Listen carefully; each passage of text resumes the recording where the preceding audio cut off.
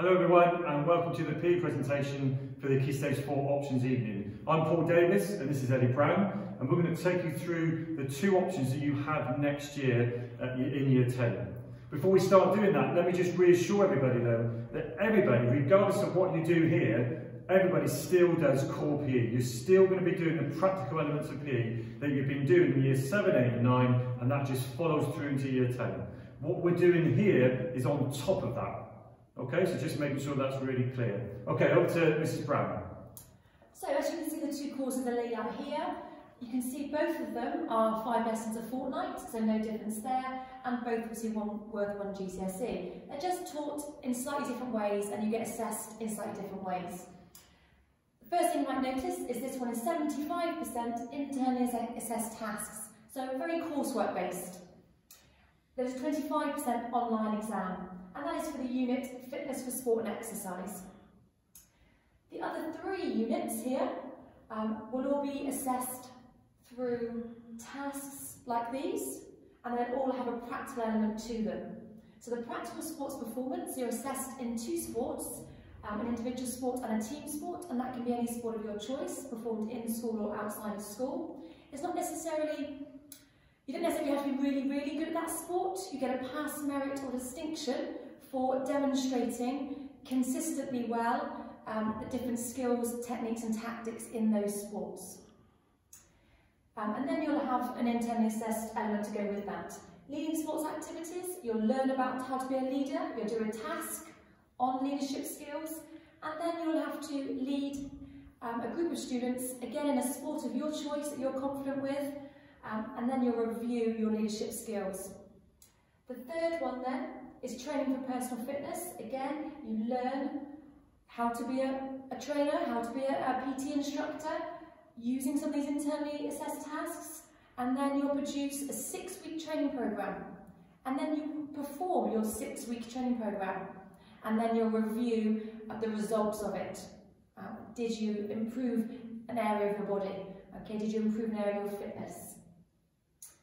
Um, so if you're somebody who does like doing lots of practical in your PE lessons, but not necessarily lots of practical sport as you know it, um, and you're not somebody who is particularly good at exams, then maybe this is the course for you.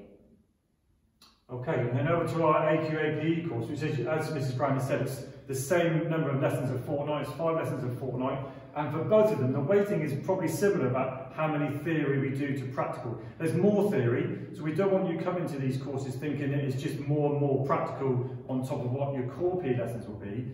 There's more theory in both courses, but it's also some practical too. For, for this course, it's 40% of the overall course is assessed practically. Now for that, we assess you in three different activities. We'll assess you in as many as we can, but you take forward your best three activities. Now one of them's got to be a team sport, one can be an individual sport, and then any other one after that.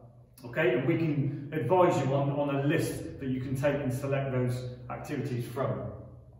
You also do a small written piece of coursework within that 40% where you're analysing your own performance in your best activity or your strongest activity.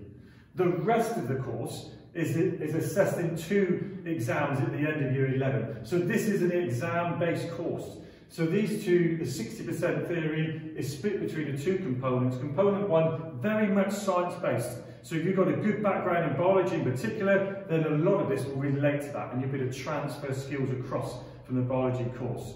The second part of the course is more the social cultural influences what's happening in society that's influencing sport, that's affecting sport. So we're talking about psychology, so what's going on in the mind, drugs, sponsorship, media, we talk about the Olympic Games and global sporting events and things like that.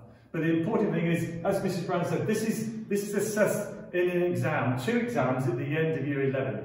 So if you, if you say, I'm good at exams, I can cope well with exams, I can work my way towards them and revise well, then maybe this is the better course for you.